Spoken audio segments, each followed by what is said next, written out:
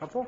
I found it extremely helpful. Um, I thought, Marc, um, you did a really great job of getting us to focus on sort of five essential stories from our beginning to sort of our, you know, where do we ultimately want to be in terms of students that we produce.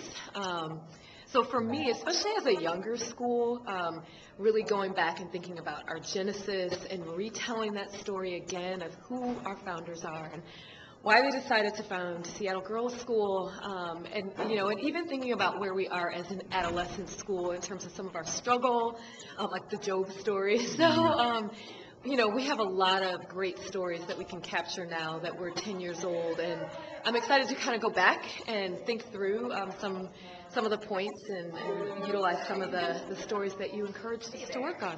So, thank you.